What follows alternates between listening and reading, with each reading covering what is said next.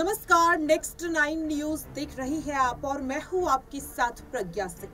लोकसभा चुनाव को लेकर भारतीय जनता पार्टी ने आखिरकार बड़ा ऐलान कर दिया। दरअसल आपको बता दें कि लोकसभा सीटों पर अब नामों का फाइनल होना शुरू हो चुका है।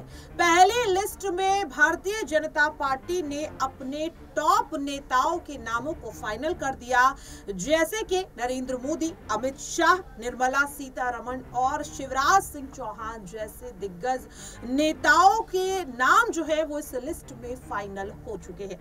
ऐसे में कई नामों को इस लिस्ट से काटा भी गया जी हाँ। आपको बता दें के मशहूर बॉलीवुड एक्टर शत्रुघ्न सिन्हा का नाम इस बार लिस्ट से काटा जा चुका है। इसी के साथ कहा जा रहा है कि मध्य प्रदेश के भोपाल से मौजूदा सांसद साध्वी प्रज्ञा की जगह अब पार्टी आला कमान शिवराज सिंह चौहान को चुनावी मैदान में उतारने पर ऐलान कर चुके हैं।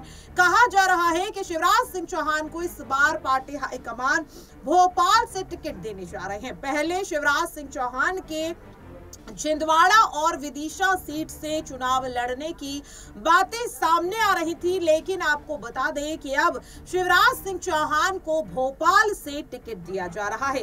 इसी के साथ आपको बता दें कि केंद्रीय मंत्री ज्योतिरादित्य सिंधिया की सीट को भी बदल दिया गया है। दरअसल अब तक उनके ग्वालियर से चुनाव लड़ने की चर्चाएँ तेज हो रही थी, लेकिन अब आपको बता दें कि शिवराज सिंह चौहान की तरह ज्योतिरादित्य सिंधिया की सीट को भी बदल दिया गया है और अब सिंधिया ग्वालियर नहीं, बल्कि गुना सीट से चुनावी मैदान में उतरते हुए नज़र आएँगे। शिवराज सिंह चौहान को भोपाल से टिकट देने के बाद उनके समर्थकों के बीच काफ़ी ज़्यादा खुशी देखने के लिए मिल रही है, क्योंकि जब से विधानसभा चुनाव के परिणाम आए और शिवराज सिंह चौहान को मुख्यमंत्री नहीं बनाया गया तो हर किसी को ऐसा लगा कि पार्टी ने शिवराज सिंह चौहान को पूरी तरह से दरकिनार कर दिया है। उनके लोकसभा चुनाव लड़ने पर भी कई तरह के गंभीर सवाल उठते हुए नज़र आ रहे थे। लेकिन तमाम कयासों पर विराम लगाते हुए आखिरकार पार्टी ने यह अहम फैसला सुना दिया है कि मध्य प्रदेश के पूर्व मुख्यमंत्री रहे शिवराज सिंह चौहान अब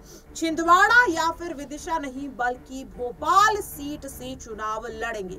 ऐसे में साध्वी प्रज्ञा का जिस तरह से टिकट कट गया है और शत्रुघ्न सिन्हा के भी टिकट कटने की बात अब सामने आ रही है, क्या पार्टी में एक बड़ी टूट की स्थिति यहाँ पर देखने के लिए मिल सकती है, क्योंकि ये दिग्गज नेता है। पार्टी में इनका काफ़ी दबदबा इनके चुनावी क्षेत्र में देखने के लिए मिलता है, और अब देखना काफ़ी अहम रहेगा कि इस बड़े ऐलान के बाद शिवराज सिंह चौहान का अब अगला कदम क्या रहता है।